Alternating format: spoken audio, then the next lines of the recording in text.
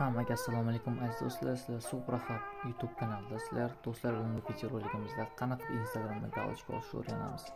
Buning uchun bizga instagram profilimiz kerak bo'ladi. Va instagram profilimizga kirganimizdan so'ng shunchaki o'zimizni profilimizni настройкasiga qarab o'tib olamiz. Bu birinchi o'rinda qiladigan ishimizdan bittasi настройки конфиденциальностьga kiramiz va center account degan joy bor. Bu yerga bitta bosamiz.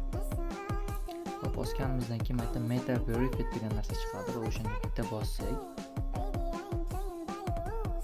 va agar biz meta zakaz bergan bo'lsak bizda shunaqa narsa chiqadi. Agar chiqmasa men yo'lini o'rataman batafsil video davomida ko'rib borasizlar оформить подписку qilamiz va zaregistratsiya qilamiz. И все agar hozir mana shunda sakkiz dollar to'lov qilsam bo'ldi manga shuni instagram galochka beradi. Keyingi akkauntni qanaqa ko'ramiz? Misol boshqa akkaunt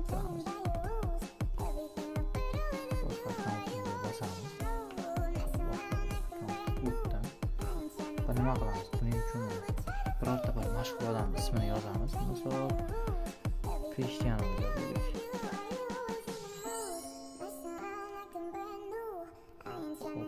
галочкani ustiga bitta bosamiz bosganimizdan keyin галочка op аккаунте degan joyga kiradi va biz yana записываться va список ожидания meta degan narsaga bitta bossak bo'ldi shu bilan bizga ham запрос tashladik va запрос qabul qilsa o'zlari